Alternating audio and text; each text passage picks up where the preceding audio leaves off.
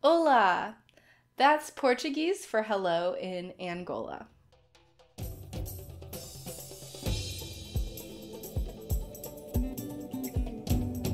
You're listening to Christian Travelers Network, the podcast and platform where travel stories, community, and scripture combine. Hey, Christian travelers, I'm so glad that you are here. We are sp- exploring different countries alphabetically, um, looking at some of God's many wonders throughout the world. And today we are visiting Angola. If you haven't already, please hit that subscribe button so that you will be one of the first people to know when we release another podcast and get to explore more of the world with us. But without further ado, let's go ahead and learn about this unique country. If you've never heard of it or don't know where to find it on a map, let's take a look. Angola is located in southwest Africa. It is approximately twice the size of Texas, and it is a mix of deserts, rainforests, and a very humid climate. In fact, they get about 41 inches of rain per year, and temps range from 86 Fahrenheit in October to about 50 degrees Fahrenheit in June and July.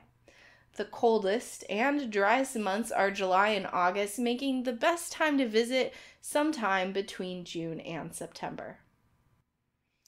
The official language of Angola is Portuguese, although many speak Bantu, a language of the indigenous people approximately five to 600 Bantu languages are spoken in southern Africa. So that's a lot to process and often means that what they're speaking at home is different than what they're maybe speaking with the tourists or uh, just out and about in the community. Now, if you're wanting to explore Angola, one of the unique natural wonders is called the Viewpoint of the Moon. It has unique orange canyons and cliffs, kind of remind me of the Canyonlands in Utah, but all the while still different. And it's just a unique sight to go see. Another one of its natural wonders is the Kalunda Falls.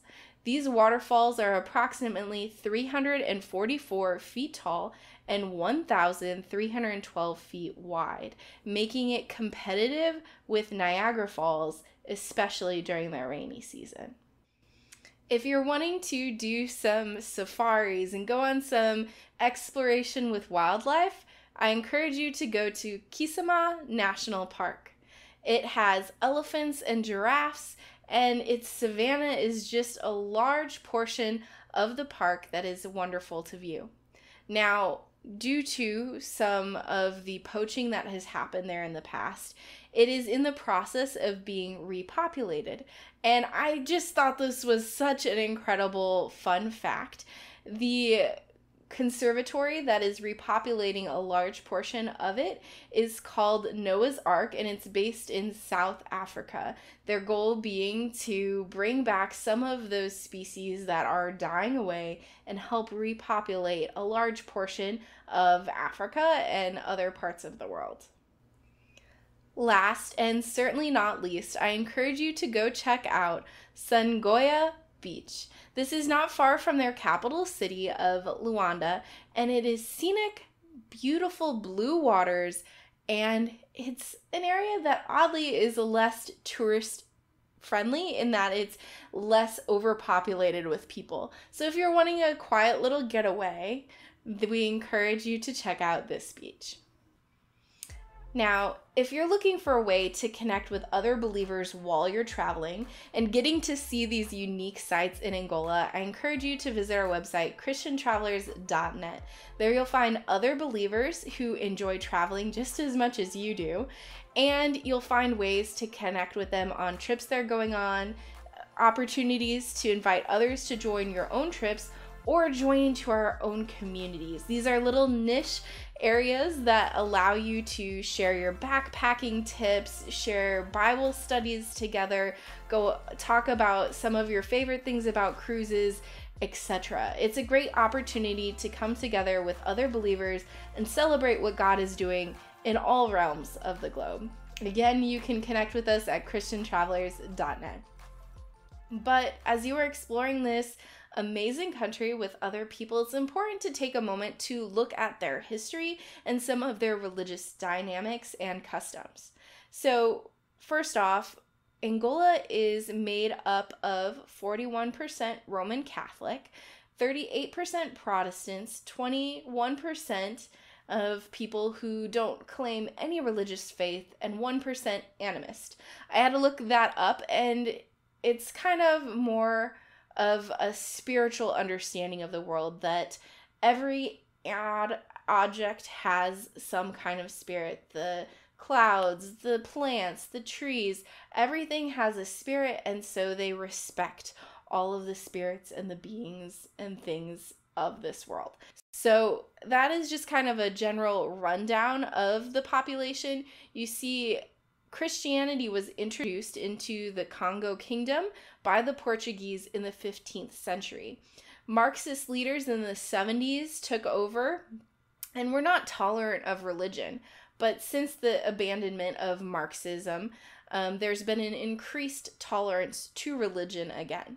Though to be able to worship, to practice, to meet together, they have to have the approval and be recon- a recognized organization. Otherwise, they will be disbanded.